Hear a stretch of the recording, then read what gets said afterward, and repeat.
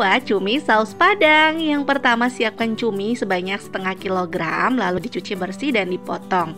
Marinasi dengan satu sendok teh baking powder dan setengah sendok teh garam. Aduk rata, diamkan kurang lebih selama 8 menit, setelah itu cuci dan bilas.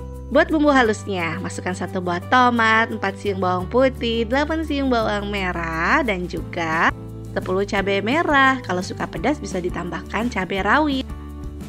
Tambahkan air, haluskan hasilnya seperti ini. Panaskan minyak, tumis bumbu halusnya, lalu aduk rata.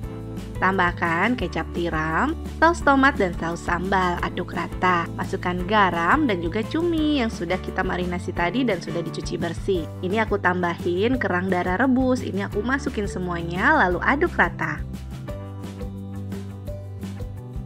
Setelah semua tercampur rata, kalau suka pedas kalian bisa tambahkan lagi saus sambalnya. Ini aku tambahin saus sambal dan juga setengah siung bawang bombay. Lalu aduk rata, masak hingga matang dan koreksi rasanya. Kalau sudah pas dan oke, siap disajikan.